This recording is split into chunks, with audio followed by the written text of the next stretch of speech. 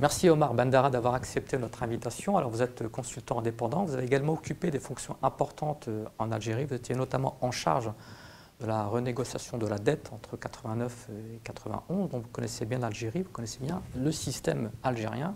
Alors première question, vous qui connaissez très bien l'Algérie, est-ce que vous avez été surpris par cette contestation populaire, cette révolution citoyenne? Pas vraiment. Euh, nous sentions monter euh, une grande exaspération dans, la population et nous avons vu euh, les prémices de cette, de cette levée en masse, de ce soulèvement général, de cette levée en masse pacifique lors de, des funérailles de, notre ami et, grand leader Si Hussein Ahmed. Vous avez tous vu, comme moi, cette mobilisation extraordinaire de la population, et pas seulement de la Kabylie, comme on a voulu nous faire croire, mais euh, de la part de, populations qui venaient de tous les coins du pays pour rendre un dernier hommage à, à. Donc il y avait déjà des signes avant-coureurs euh, de, cette euh, éruption pacifique de la population.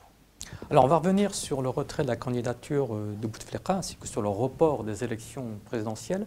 Alors à ce sujet, vous vous affirmez que ni plus ni moins, vous dites, euh, il s'agit en fait de maintenir au pouvoir ce président zombie, dites-vous, sans qu'il soit élu. C'est un fait objectif. Il ne s'agit pas d'une interprétation euh, délirante de ce, que, de ce qui a été énoncé de manière extrêmement claire.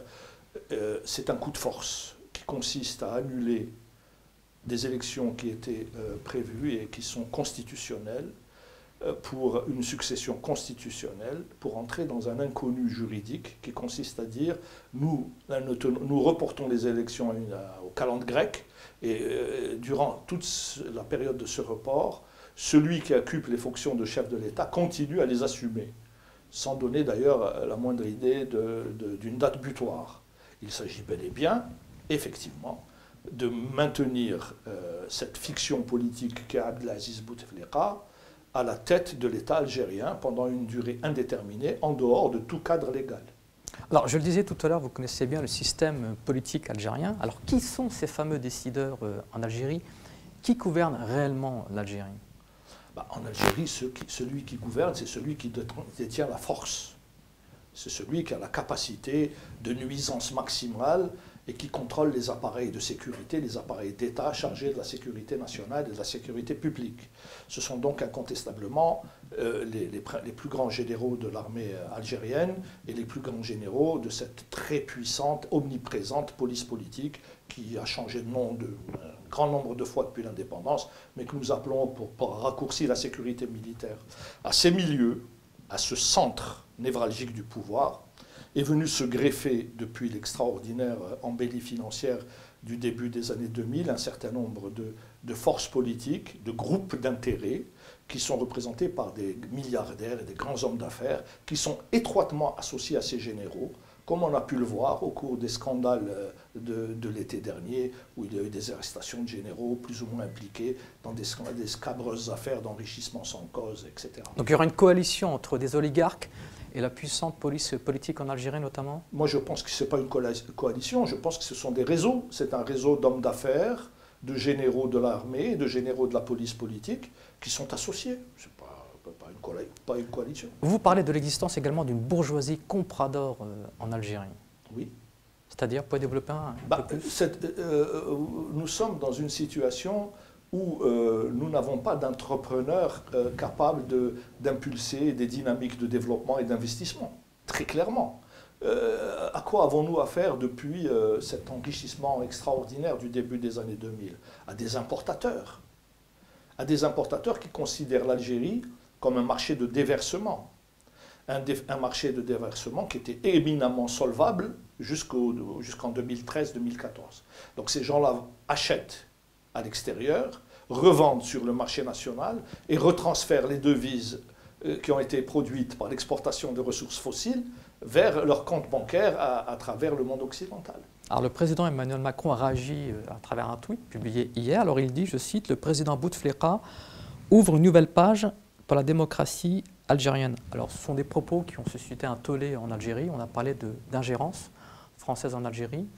Qu'en pensez-vous de cette réaction d'Emmanuel Macron?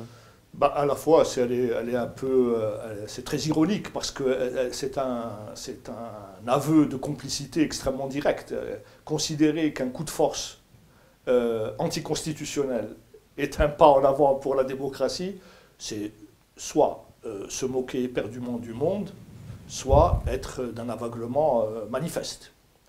Euh, je ne choisis pas. Pour moi, je pense que cela procède de ces deux termes. Euh, ce qui est certain, c'est que la question qu'on peut se poser, c'est à qui profite le soutien officiel de la République française au régime algérien Est-ce que cela profite à la, à- la France, à l'économie française, au peuple français? Non. Est-ce que cela profite à l'État algérien en tant que tel, à la population algérienne, à l'économie algérienne? Non. Est-ce que ça profite aux relations bilatérales, économiques, algéro-françaises ou franco-algériennes, comme vous voulez Non. Donc ça profite à un groupe ou à une structure qui n'apparaît pas dans les relations officielles d'État à État. C'est quoi cette structure? Je ne sais pas. C'est ce que le- la Fondation Jean Jaurès appelait des réseaux de commissionnement. Ce sont des groupes d'intérêt, de complicité, de connivence euh, entre élites de pouvoir, élites de gouvernement français et dirigeants politiques et, financiers algériens et militaires algériens. Donc il y a un rapport qui n'est pas d'État à État, qui n'est pas un rapport diplomatique, qui n'est pas un rapport entre les peuples, mais qui est un rapport entre caté- catégoriel très spécifique. Alors, dernière question, comment voyez-vous l'évolution de la situation en Algérie? Qu'est-ce qui pourrait faire réellement changer ce régime? C'est très difficile à dire. Euh, ce régime est d'une violence, d'une brutalité, d'une perversité qui ne s'est jamais démentie depuis au moins euh, le coup d'État militaire du 11 janvier 1992. Ces gens sont capables de tout, et du, et du pire. Donc, euh, cela dit, aujourd'hui, ils ont face à eux toute la société, tout le peuple. Et ce peuple-là n'est dirigé par aucune euh, idéologie susceptible d'inquiéter les Occidentaux. Autrement dit, de manière très claire, il n'y a pas d'intégrisme militant ou d'islamisme virulent qui encadrerait euh, ces protestations populaires. Réprimer violemment une telle expression pacifique, démocratique, cultivée et je dirais même élégante, c'est se condamner immédiatement. Personne ne pourra jamais défendre ceux qui, vont, euh, qui prendront le risque de réprimer cette revendication pour les libertés et pour l'état de droit. Mais vous, vous n'êtes pas partisan d'un changement radical euh, du régime? Ah non, euh, la radicalité en matière de politique est toujours propice à, à- à des dérapages et à des dérives. Nous, nous sommes pour une évolution politique, consensuelle.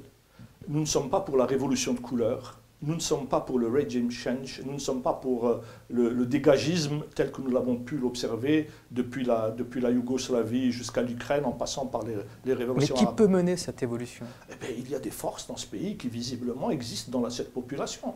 Uniquement dans la population? Ben, J'en suis certain. Moi, je, suis- je fais une confiance totale, aveugle, dans le peuple algérien et je sais qu'il saura dégager, comme il l'a montré au cours de ces, de ces journées de protestation, il saura dégager parmi, en son sein, des nouvelles élites capables de le représenter et capables d'organiser avec les parties les moins malsaines du système, avec les parties Donc il faut associer les des personnes du système Absolument, les moins malsaines, représentatives du système, les plus saines, si vous voulez, euh, euh, un, un système qui pourra organiser la transition vers une société enfin libre, vers une société décolonisée. Et c'est ça que euh, les commentaires de M. Macron mettent en exergue plus que toute autre chose, c'est le côté complètement néocolonial de la relation bilatérale. Et donc, assurer la fin de ce processus de décolonisation est aussi une des tâches de ces élites qui montent, qui germent dans ces manifestations populaires. Merci à vous, Omar Mandara. C'est moi qui vous remercie.